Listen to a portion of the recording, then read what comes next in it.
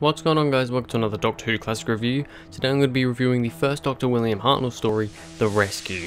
Now this is a pretty interesting story, because it was actually the first William Hartnell story I ever saw. The Rescue and the Romans are the only two First Doctor stories that I've seen before starting the Classic Review series, so this and the Romans are the only two stories you'll ever um, see me review that I have reviewed, uh, that I have seen before with the First Doctor.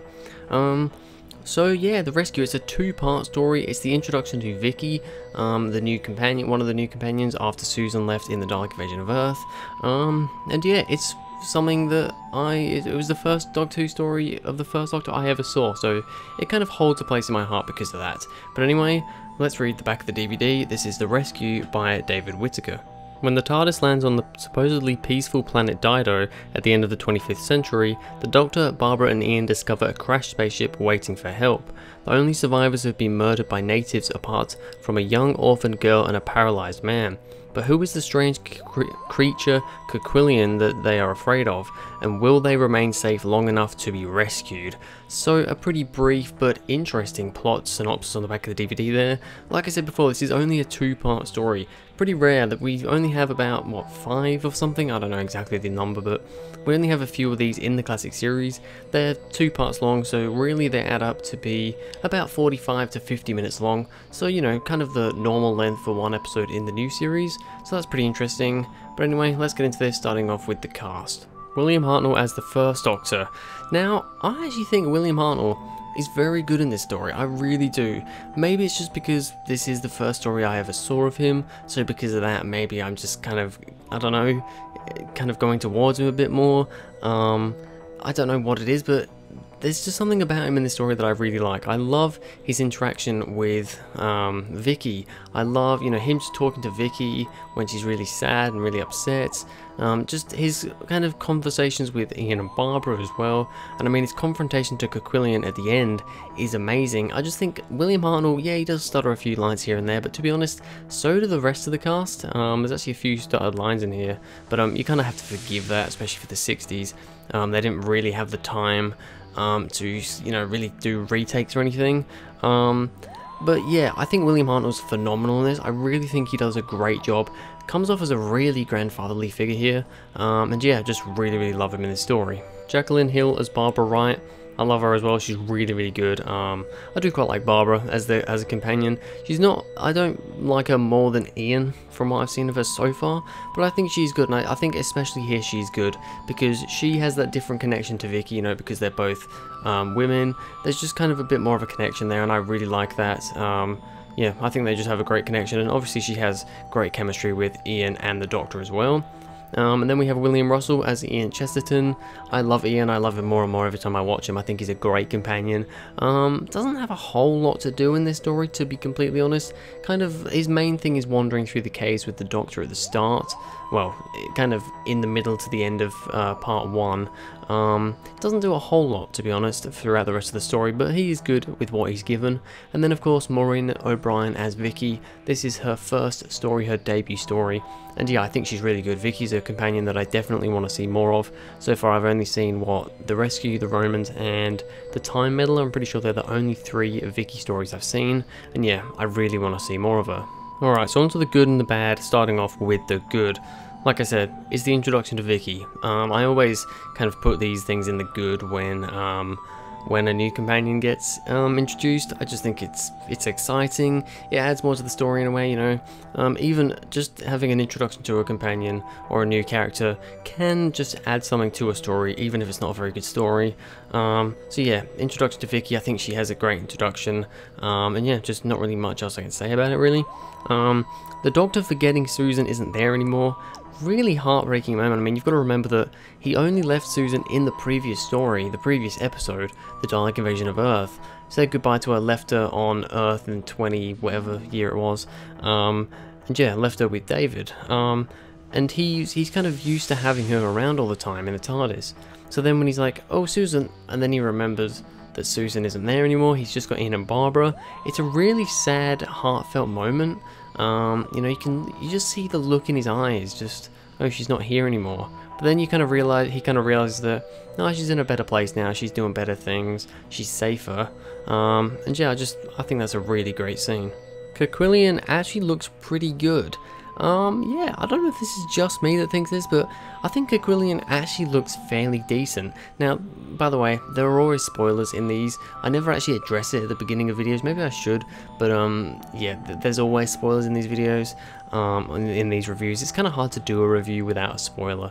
Um, so yeah, just keep that in mind. But um, Koquillion turns out um, that he's actually Bennett, um, the the paralyzed, so-called paralyzed um, crew member with Vicki, it turns out that he is actually um, Koquillion. He's just doing it, I don't know, for whatever reason. Um, and yeah, it turns out that's the case. So I think it helps me like the look of Koquillion more because a lot of Classic Who, um, the costumes look, the alien costumes look like costumes. And I think that does help here because it is a costume that that's what it is. It's it's not it's not a guy dressed up so that he looks like an alien in the story. It's a guy dressed up to make himself look like an alien, but it's that's you know he is just dressed up. That's part of the story, and I think I think that does help. But even with that aside, I think the um, the I don't know what you call them, the people of Dido or whatever, um, the Koquillion, the, let's just call him Koquillion because he's the only one we really see. I think he does look pretty decent. We do also have those um, kind of more monster looking creatures that look like Koquillion. Um, I don't know if they're the actual the actual natives or whatever, but um, I don't think they are because I'm pretty sure the actual natives do, can walk around and stuff, whereas they're, they're kind of like slug creature things. But you know, they actually look pretty cool as well. Um, I found this a lot with classic, with, with 60s Who, because I think, you know, the fact that we have it in black and white, um, it actually kind of masquerades some of the the crap costumes and stuff. Um, having it in black and white actually does help quite a lot. And yeah, I really like Koquillion's um, look.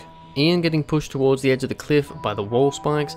Yep, episode 1's cliffhanger. Um, the Doctor and Ian are scaling the cliffs and they end up setting off a trap and it, um, the walls um, end up kind of shooting, well not shooting out, they're very very slow, slowly protruding spikes, um, you know, kind of pushing Ian towards the edge of the cliff. I think it's a pretty cool cliffhanger. I mean, he does get away from it pretty easily and unscathed in episode 2, but um, yeah, I thought it was a fairly interesting, exciting cliffhanger.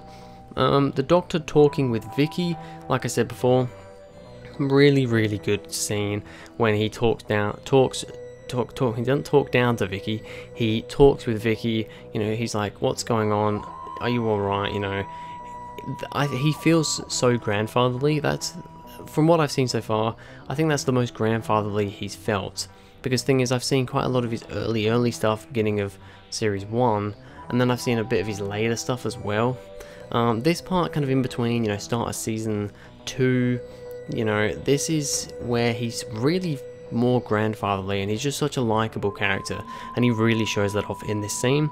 And then finally, the Doctor finding out who Koquillion really is. I think that whole scene was just really good.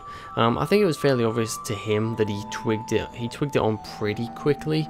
Um, you know, when he went into Bennett's room, he kind of thought, okay, I know what's going on here, and found the trapdoor. Um, but I think the whole kind of confrontation between him, Koquillion, and stuff, um, just a really, really good scene. Really great acting all around. Alright, on to the bad things. There's not a whole lot. Um, my first thing though is I think it's a bit of an anticlimactic end for Bennett, with him just falling to his death backwards. Basically, he just walks backwards. He's scared of what I think are his crew members, um, you know, surviving crew members. He's scared of him, he's like, how did you survive? They basically just hurt him off a cliff and he dies. I thought that was very quick and very anticlimactic, like really anticlimactic. Um, but I mean, yeah, it was alright. I just thought it was a bit of a crap way to end him. Um, you know, if you had a bigger, you know, three or four part episode, you would have probably done more with that. But um, yeah, as it was, that's how it ended. Um, also, don't know if this is really a bad thing or if this is just me not really quite understanding, but those two people, you know, that I told you, the, the supposed crew, I think, that kind of shoved um, Koquillion off the cliff, herded him off the cliff, were they actually his crew? I don't really understand what was going on there. Like, you know, they were very, they didn't talk at all. They just looked very stern and walked after him. And then um, when the um, ship when the you know the rescue ship came to get them, um, and tried to radio through, they destroyed all the machinery, and I was, I was a bit confused about what was going on there. Were they, were they part of the crew? Were they inhabitants of Dido? I, I don't really know. I'm, I'm pretty sure they were crew, but why did they not want the rescue ship?